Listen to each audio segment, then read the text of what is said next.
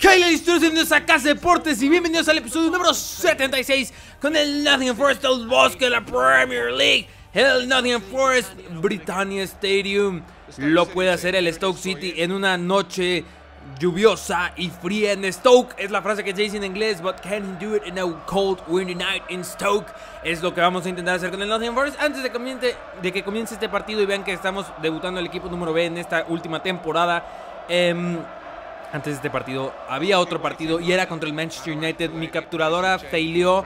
Eh, grabé más de una hora y como que me borró los primeros 15 minutos y esos 15 minutos eran el primer partido contra el Manchester United. Al final de este partido les contaré cómo quedó. Ya, ya a la hora de la edición ya no pude hacer nada porque ya estaba grabando el siguiente episodio y en los saves que hace el FIFA automáticamente y los que hago yo ya era imposible recuperar ese partido contra el Manchester United. Así que mil disculpas y sobre todo obviamente a mí me da mucho coraje no poder recuperarlo. Pero mientras van tanto por la banda de la derecha, Eric Lamela, Eric Lamela recorta a todo el mundo, pero el que le estorbó fue Ryan Gold. Vamos Lamela y ahora ataca otra vez por esa misma banda, Eric la mela. Y el pase va para el Coco. ¿Qué va a hacer? ¿Qué va a hacer el centro? El tiro. No, yo digo que tiene que centrar el tiro de Wilson. Pega en el travesaño. Y por poco anota un golazo Wilson. Él lo sabe y por eso se lamenta. Y vemos que esta temporada va a lucir el número 19. Porque Andrew Shirley tiene el número 14. Por si no lo vieron la, eh, el video pasado. No la temporada pasada. Porque pues, estaba al revés. Mientras tanto, por la banda de la izquierda, Scott Sinclair. Que es el héroe de Wembley. No jugó contra el Chelsea. Posiblemente por eso perdimos. Fellaini recupera el balón. El balón para Scott Sinclair. Que dice: Le voy a perder aquí. El balón desviado. Gol de Scott Sinclair. Y no sé si debería ser gol o no, autogol, pero es uno de los goles más raros que he metido en mi vida. Definitivamente. Vean, le pegó horrible a Scott Sinclair. Ese balón era facilísimo para Begovic. Lo desvían, le desvían la trayectoria al balón y le marcan el gol a Scott Sinclair. Pero el Stoke City no se quiere quedar con los brazos cruzados. Y la esperanza de la portería. Hope hace una tajada espectacular, no se la puede creer. Creo que es Wilson el que remató Ireland, creo que es más bien Ireland. Excelente lo de Hope, otra vez a la carga el Stoke City, pero ya estaban en ultraataque y ahora es el contragolpe. Gary Brill, la reencarnación del cazador a balón es chaparrito, pero es picoso. Vemos cómo dejó al defensa clavado y define. Brill, nuestro delantero de la cantera, y así lo celebra. Y Wilson va y lo celebra porque la asistencia va para él. Vemos cómo, y no es muy rápido, eh, ojo que no es tan rápido como pareciera que es por su estatura. La definición es muy buena abajo, donde le duelen los porteros. Su primer gol de la temporada, Gary Brill. 2 a 0 le ganamos al Stoke City. Y como les decía, hubo un partido contra el Manchester United que Aparte de que me da mucho coraje que se pierda un video y así porque failió. Al menos no se perdieron todos los partidos porque a veces me pasa que como que se traba y digo, valió, ya valió. Desde que me pasa eso tengo como cuatro saves distintos y ahora le pasó un poco de eso, pero después eh, no pasó nada más y dije, ah, perfecto, puedo continuar sin ningún problema.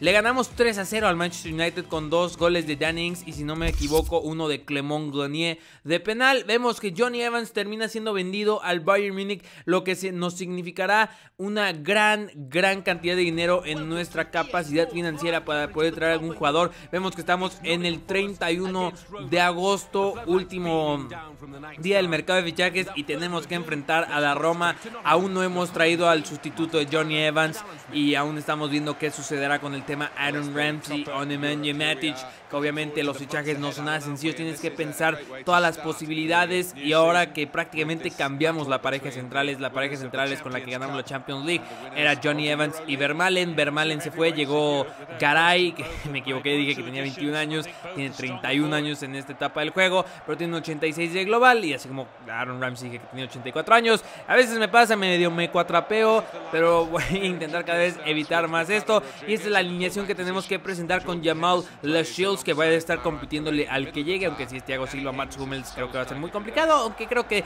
tiene las capacidades nuestro canterano para luchar y este es el 11, el mejor 11 que podemos presentar para ganarnos ese hermoso florero que es la Supercopa de Europa. Y nos enfrentamos a la Roma que tienen, ojo, a Boni, a Wilfred Boni delantero, tienen a Iturbo, Kevin Strutman, Ryan Nainggolan, De Rossi. Y porque Miralem Pjanic. Pjanic está con el Manchester United en este modo carrera, si no me equivoco. Mientras tanto, la primera jugada del partido es Jennings que encuentra Jordan Henderson que le pega así como viene. Y el arquero que es Diego Alves en el fondo muy bien. Siguiente jugada, Maureen Fellaini encuentra a Clemont. Granier apunten, dispara en fuego, pero en el fondo Diego Alves una vez más. Ahora le toca a la Roma atacar. Este es Daniele De Rossi. Daniele De Rossi con Wilfred Boni. Se abrió el espacio para Boni. ¡No!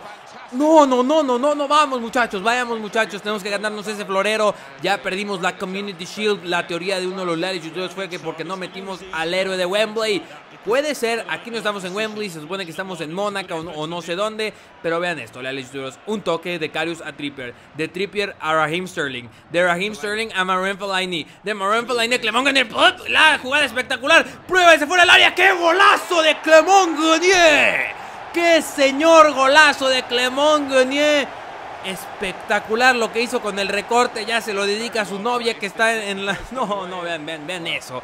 Como la barrida fue inútil a la base del poste, el remate, primer gol en Copa Europa, pues obviamente solo hay un partido de Supercopa Europa y Clemont Guenier lo clava, ataca a la Roma en los minutos finales, no lo puedo creer. Pero ustedes saben que, bueno, si juegan FIFA y ven esta animación, es que fue gol anulado porque está en fuera de lugar. Quiero pensar que eso marcaron. Siguiente jugada, Jordan Henderson encuentra a Dannings. Dannings, estamos en el tiempo extra. Dannings, define, define, por favor, por el amor de Dios, eso no lo falles. Normalmente eres Dannings. En el minuto 110 del tiempo añadido. El Nottingham Forest no se quiere ir a penales. Es la jugada inmediata. Siguiente. Jordan Henderson con Andrew Shirley. Shirley recorta. Shirley prepara el cañón. Shirley. Seguramente Shirley iba a anotar ese golazo. El 14 del Nottingham Forest así lo celebra con el público que hizo el viaje. La definición a sangre fría de Andrew Shirley. Vemos aquí cómo perfila su pierna derecha y al ángulo. Qué golazo, qué par de golazos para que estemos al frente en el marcador, para que el árbitro decrete el final y somos los campeones de la Supercopa de Europa. Así que en menos de un año, Supercopa de Europa, Champions League, FA Cup, Capital One Cup, Premier League. Nos faltó un título para conseguir el sextete. Nos faltó uno, leales youtubers, aunque en teoría estaría el Mundial de Clubes que podría ser o sea que pudimos ganar el sextete. No sé. Así lo celebramos. Un triunfo merecido para el Nottingham Forest que ha tenido unas, un par de temporadas. Bueno, que digo un par. Cinco temporadas fantásticas.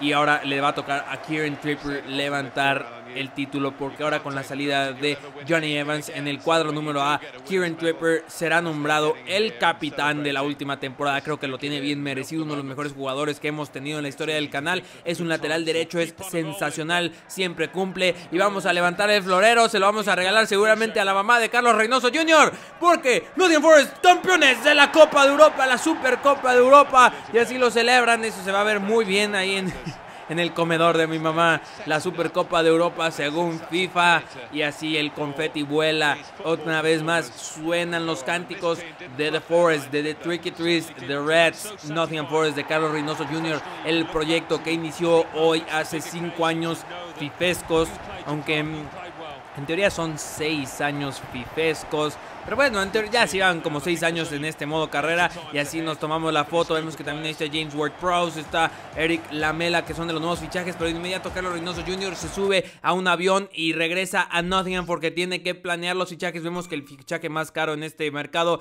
ha sido la llegada de Johnny Evans al Bayern Munich. Estamos en las últimas horas del mercado y estamos intentando negociar. No sucede nada, pero saben que Carlos Reynoso Jr. es un maestro de la negociación, de la planeación.